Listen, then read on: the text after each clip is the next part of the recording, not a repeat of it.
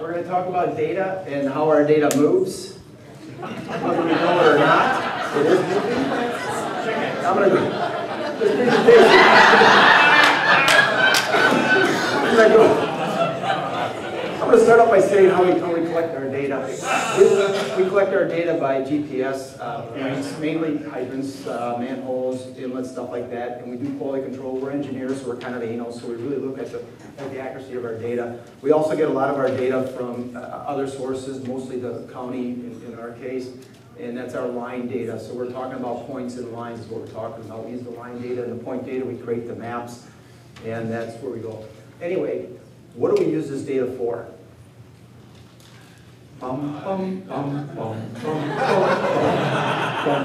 It was supposed to be, it was supposed to work, but it didn't, anyway.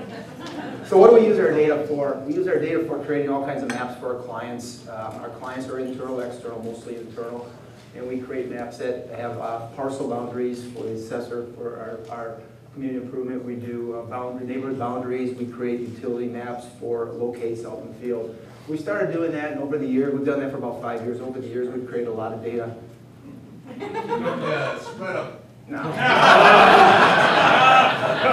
We've QA QC our data, and we've, we've gone over, gone over, gone over, and we're engineers, we're engineers because as we create these maps, we want to make sure they're good maps. We want to make sure the maps are really good for everybody, everybody's happy with our maps. And so we take a very close look at our maps. We take a very close look at our maps, and we, we looked at the data, we looked at the old maps and new maps, and we said, hey, is this data good? Maybe it is.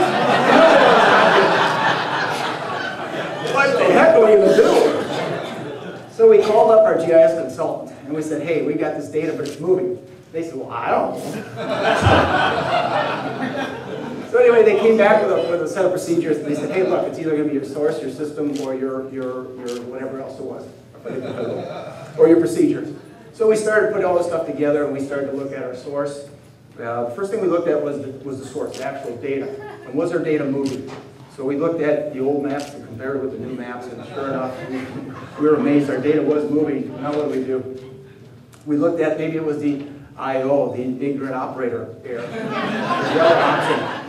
So we said, well, okay, maybe we're not doing this right. Maybe we got stuff too close to other stuff that shouldn't be there, and it won't work out the way we want it to work out. The third thing we ended up looking at was, okay, you made me talk fast, now I'm talking too fast. The third thing we looked at was the system, and we looked at the, the system as to, as far as the, the, the way our database is handled by the system we were using. What we found out was that actually the system does some rounding that we didn't know about.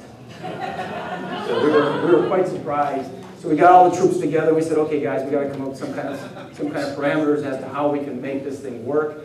We came up with something that has to be relatively cheap because we don't have any money. It's got to be user friendly. And my co-presenter Bob, we got to make it bobbable so he can handle it. And again, we quite- wasn't quite sure how this was going to work. So we called up our consultant. We said, here's our parameters. Can you help us out? And they said, ah, sure, no problem. We're very good at this stuff because we're GIS consultants. So we, we gave them parameters. They went away and they took a look at what they could present us. And sure enough, they came back with a very simple solution that was didn't cost us any money. It was open source. It wasn't proprietary, so we owned the data. Somebody else didn't own our data. We said we love this cheese.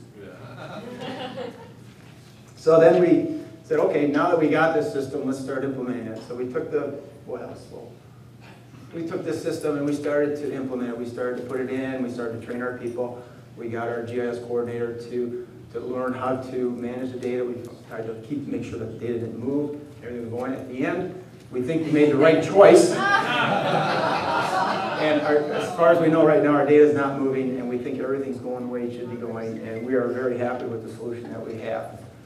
Thank you.